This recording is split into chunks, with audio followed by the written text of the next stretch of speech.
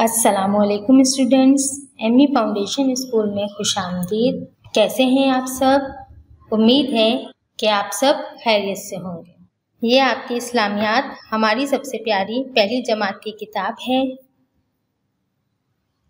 इसमें हमें अल्लाह ताला की किताबें पढ़ना है। अल्लाह ताला की चार आसमानी किताबें हैं, जिनका मुख्तर तारुफ इस सबक में बयान किया गया है।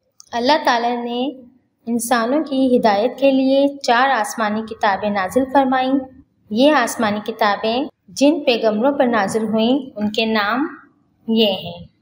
तोरैत हज़रत मूसा सलाम पर नाजिल हुई, ज़बूर हज़रत दाऊद सलाम पर नाजिल हुई, इंजील हज़रत ईसा सलाम पर नाजिल हुई कुरान मजीद हमारे प्यारे नबी हज़रत मोहम्मद मुस्तफ़ा सल्लल्लाहु अलैहि वसल्लम पर नाजिल हुआ।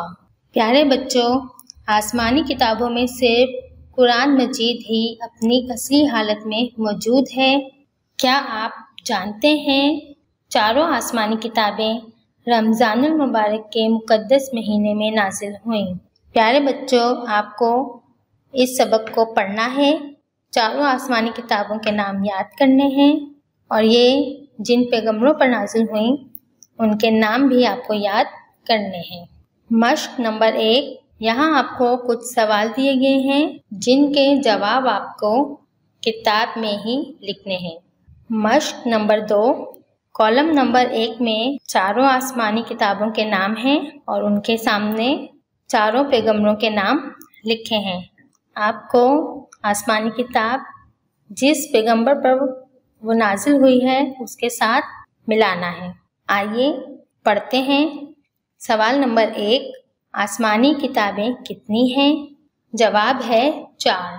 सवाल नंबर दो, चारों आसमानी किताबों के नाम बताएँ। जवाब है तोरैत, ज़बूर, इंजील, कुरान मजीद। सवाल नंबर तीन, आसमानी किताबें किन पैगम्बरों पर नाजिल हुई? जवाब है हज़रत मूसा सलाम हज़रत दाऊद सलाम हज़रत ईसा सलाम हज़रत मोहम्मद मुस्तफ़ा सल्लल्लाहु अलैहि वसल्लम। सवाल नंबर चार, अल्लाह ताला की सबसे आखिरी किताब कौन सी है? जवाब है कुरान मजीद। मश्क नंबर दो, किताब के नाम को पैगंबर सलाम के नाम से मिलाइए। पहली किताब है कुरान मजीद। कुरान मजीद को हज़रत मोहम्मद मुस्तफ़ा सल्लल्लाहु अलैहि वसल्लम से मिलाना है। इंजील हज़रत ईसा सलाम से मिलाना है, ज़बूर हज़रत दाऊद सलाम से मिलाना है, तोरैत हज़रत मूसा सलाम से मिलाना है। इस तरह आपका सफ़ा नंबर 25 मुकम्मल हो जाएगा। ये आपका weekly homework assignment 10 class one इस्लामियात है। नंबर एक, सबक अल्लाह ताला की किताबें सफ़ा नंबर 24 से आपको पढ़ना है। नेल पास आपको इस्लामियात कॉपी में करने हैं। नंबर दो, सबक अल्लाह ताला की किताबें के हरूफ तोड़े, कॉपी में लिखने हैं और याद भी करने हैं। तीन, सबक अल्लाह ताला की किताबें, सफ़ा नंबर 25 पर दिए गए सवाल जवाब किताब में मुकम्मल करने हैं और याद भी करने हैं। ये सवाल जवाब मैं आपको पहले पढ़ के बता चुकी हूँ। नंबर चार, अल्लाह ताला की किताबें। मश्क नंबर दो, किताब के सफ़ा नंबर पच्चीस पर मुकम्मल करें।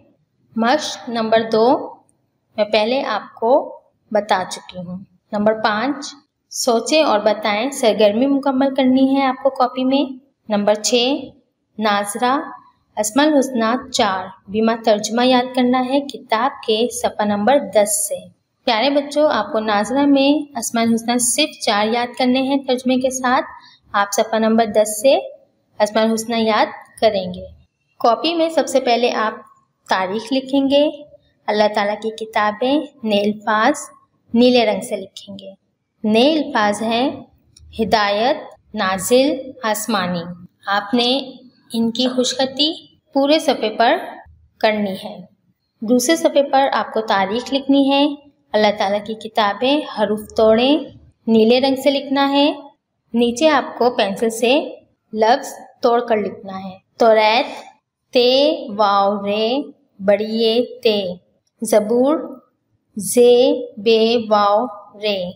इंजील, अलीफ, नून, जीम छोटी ये लाम। कुरान, काफ, रे, अलिफ, मद, आ, नून।